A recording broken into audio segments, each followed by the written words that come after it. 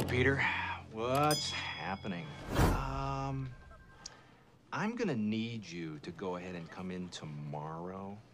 So if you could be here around nine, that would be great. Not today.